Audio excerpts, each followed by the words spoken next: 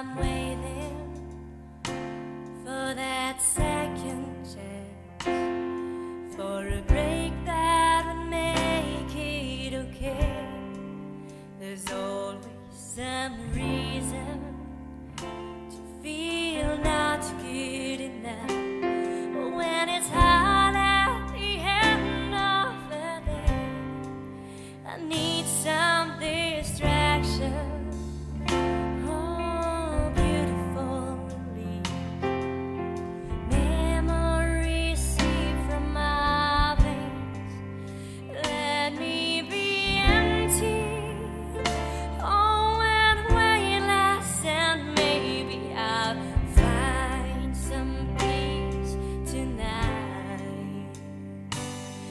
in the